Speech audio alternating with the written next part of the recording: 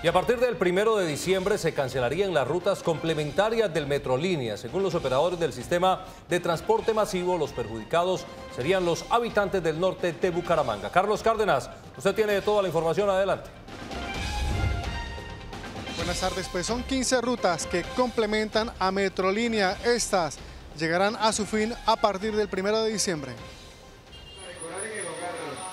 15 rutas complementarias de Metrolínea y el transporte urbano de Bucaramanga serán canceladas a partir del 1 de diciembre. Según operadores del sistema de transporte masivo, existen muchos vacíos jurídicos para seguir adelante con este convenio. No, no era absolutamente legal, era una cosa como se dice, como decimos los santandiranos, un hechizo, como hay como eh, montarnos al bus, entregar un papelito, luego subirnos al otro, entregar otro papelito, luego volver a montarnos en otro bus y subirnos al transporte colectivo y entregar una, una tarjetica y lógicamente así no funcionan las cosas. Eh, precisamente hay que buscar esta contingencia. Lo que buscamos como área metropolitana de Bucaramanga es seguir prestando el servicio y garantizarle la accesibilidad al transporte y a la movilización a todos los habitantes del área metropolitana. Los mayores perjudicados serán los habitantes del norte de Bucaramanga y algunas zonas populares de la ciudad. Hacía la transferencia en una estación de Metrolínea y no pagaba sino un solo pasaje. Ahora, al acabarse este convenio, implica que él tiene que pagar el pasaje, por ejemplo, si viene del norte, y coger un bus de Metrolínea, entonces tiene que pagar doble pasaje. Operadores de Metrolínea consideran que existen dificultades para renovar este convenio para el próximo año. Pues eh, para el usuario, para algunos usuarios es conveniente, pero para el sistema no es conveniente porque existen muchas inconsistencias, existen muchos problemas de orden técnico y de orden legal. La naturaleza de las rutas de transporte público regresan a como estaban en su estado inicial y es así donde Metrolínea deberá eh, tomar medidas de contingencia, eh, minimizando el impacto generado por el desmonte de esas 14 rutas complementarias. Compañeros, esta es la información que manejamos por el momento. Continúen ustedes en estudio.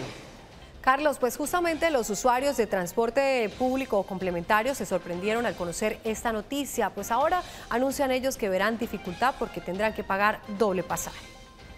¿Eso por qué nos hacen una cosa de esas al usuario? Eso no debe de ser así tras de que la situación está como está y nos van a, tener que pagar otra doble, otra, otro pasaje. No, no, no, no. Así fue la expresión de la primera usuaria al saber que ahora deberá pagar más pasaje para movilizarse en la ciudad. Creo que el complementario es, es algo indispensable, primero porque se supone que es un complementario de algo que está generando para la, para la ciudad. Pues la verdad a mí me parece que es un aspecto negativo ya que nos acostumbramos desde un principio que solo íbamos a pagar un transporte y así recibíamos un beneficio total.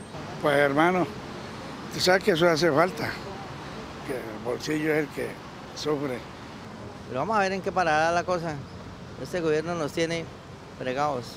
Otros han decidido echarle la culpa a Metrolínea que como su nombre lo dice, debe hacer honor al nombre de transporte masivo y no restar como está haciéndolo ahora. El responsable de eso es Metrolínea. Es, si él tomó ya la parte del transporte masivo de Bucaramanga, debería ser el que soluciona el problema. Malo porque incrementa el gasto, los tiempos para llegar a los destinos. Otros consideran que de esta manera se continúa alimentando mucho más la piratería. Está claro que hay zonas donde el transporte de servicio público es prácticamente inexistente y esto lo que hace es incentivar la piratería eh, por parte de los usuarios.